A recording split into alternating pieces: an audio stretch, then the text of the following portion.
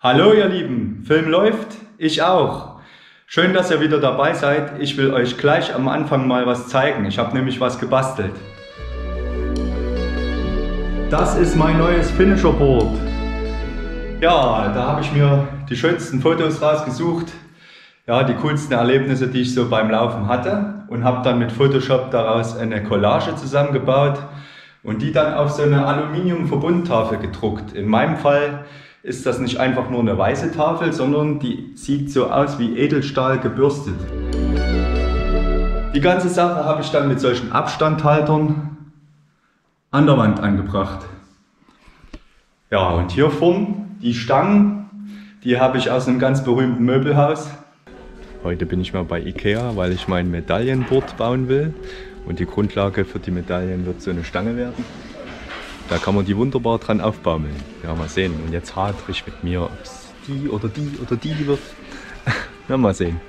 Die Idee mit den Stangen von Ikea, die habe ich vom Running Scout, vom Jörg. Danke für den Tipp, Jörg.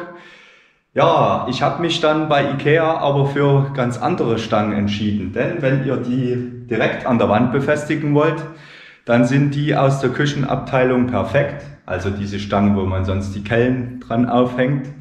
In meinem Fall habe ich einfach Griffe von einem Schrank genommen, weil ich die ja direkt an der Tafel angebracht habe. Somit mussten die von hinten festgeschraubt werden.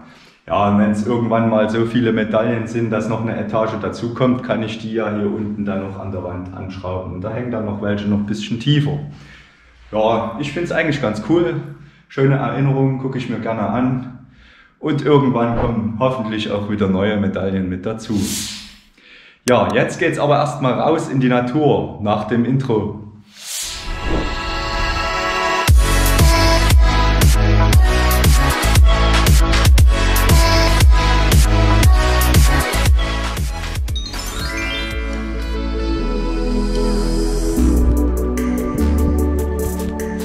Da seid ihr ja wieder. Schön, ihr seid mit dabei hier im Wald. Cool. Ja, heute mache ich meinen 35 Kilometer Long Run der liegt wie immer meistens auf dem Sonntag. Kommt einfach mit.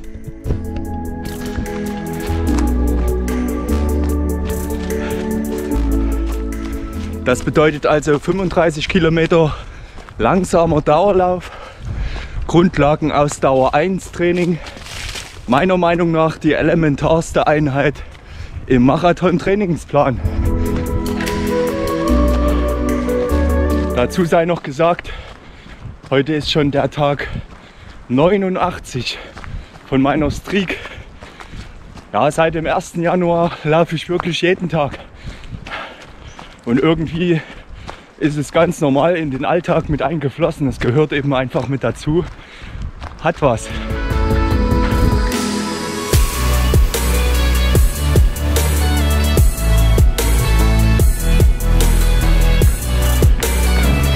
Uhr zeigt 10 Kilometer an.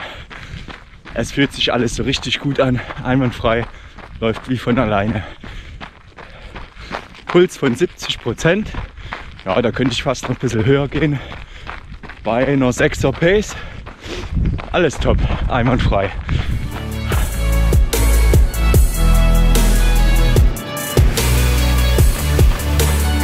Und während ich die nächsten 10 Kilometer laufe, wollte ich euch mal was zeigen.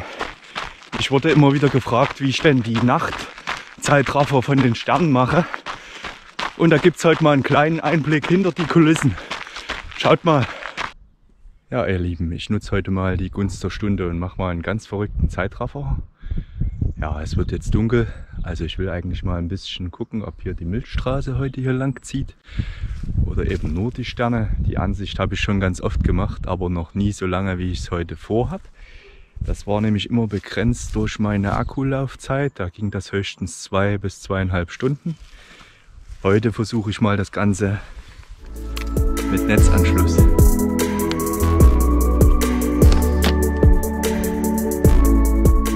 Ja, als Kamera habe ich immer noch meine alte Canon, die 5D Mark II mit einem Irix 15 mm Objektiv da drauf, Blende 2.4 ganz weit auf dass man noch das letzte Licht der Nacht einfangen kann.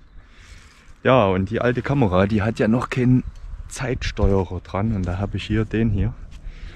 Den extern, der soll das dann die ganze Nacht übernehmen, dass die aller 30 Sekunden, auch für 30 Sekunden belichtet. So lange muss man belichten, dass man auch noch was von den Sternen sieht. Ja, ich bin gespannt, ob sie morgen noch dasteht, ob sie nass wird die Nacht oder irgendwas passiert oder ob es klappt. Es ist ganz zeitig am Morgen. Ich bin hier an der Kamera und die ist komischerweise aus. Das dürfte eigentlich nicht der Fall sein. Was ist denn da los? Es gab leider ein Problem mit der Stromversorgung, so dass die Kamera nur vier Stunden durchgehalten hat. Ja, das habe ich aber schon gelöst, das Problem. Also bald geht es noch mal länger. Trotzdem, vier Stunden ist ja schon mal ein guter Anfang. Und hier ist das Ergebnis.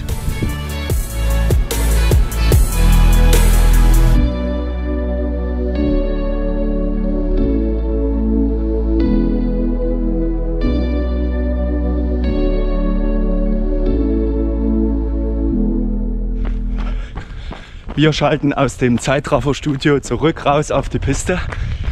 Hier hat sich mittlerweile einiges geändert. Zum Beispiel das Wetter. Ich habe jetzt auf einmal leichten Nieselregen. Vorhin kam ein richtiger Regenschauer, der wollte mich ärgern. Hatte aber keinen Erfolg damit. Ich bin weiter voll motiviert, denn der Kilometerstand hat sich auch geändert. Ich habe 21 Kilometer weg, quasi einen Halbmarathon geschafft. Und langsam ist ein Ende in Sicht. Fühlt sich gut an. Mein Puls, der schwenkt so, schwankt so zwischen 68 und 78 Prozent vom Maximalpuls. Ja, das liegt daran, dass die Strecke nicht gerade flach ist. Hier geht es immer mal berghoch und wieder bergunter. Und ihr merkt ja, wie ich gerade schnaufe.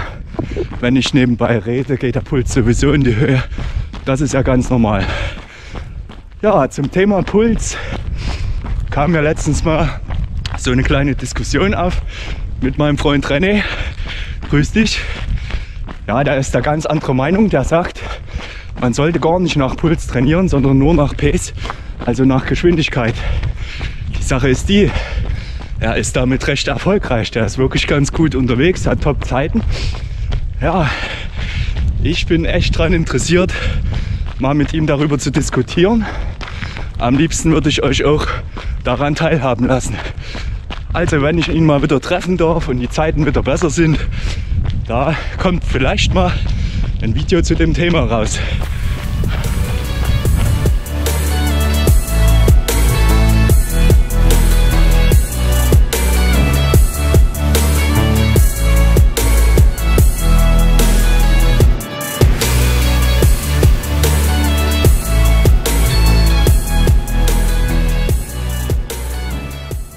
Ja, eine so eine Flasche habe ich jetzt alle. Ich hatte am Anfang wieder vergessen zu trinken. Das geht mir immer so. Und nach 20 Kilometern kriege ich echt Durst. Ja, und der Nieselregen hört auch nicht auf. Aber es ist nicht mehr so weit.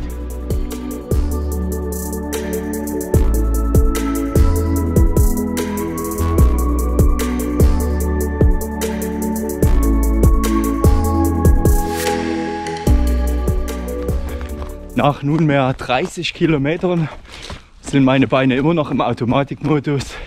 Die rennen wie von alleine. Aber ich verspüre gerade einen Mordshunger und da fällt mir doch was ein.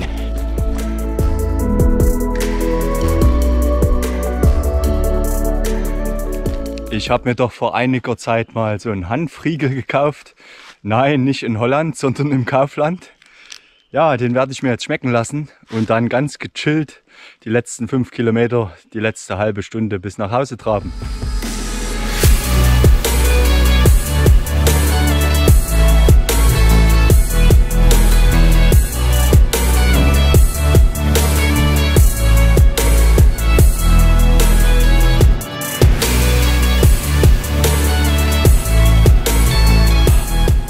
Hier ist nochmal meine Zusammenfassung von heute.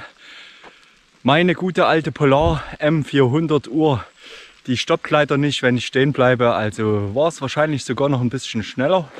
Die ganzen Pausen vom Film und so weiter müsste man noch abziehen. Aber es ging heute sowieso nicht ums Tempo. Das war ja langsamer Dauerlauf. Das war mein langer Lauf heute. Ja, die meiner Meinung nach wichtigste Grundlage im Marathontraining. Ich hatte dazu schon mal ein Video gemacht. Das zeige ich euch mal hier unten. Wenn ihr wollt, könnt ihr euch das mal angucken, der lange Lauf. Ja, schön, dass ihr mit dabei wart bei meiner Runde heute. War echt toll. Ich freue mich. Danke. Und wenn ihr es noch nicht gemacht habt, dann lasst mir ein Abo da und wir sehen uns dann nächste Woche. Macht's gut. Ciao.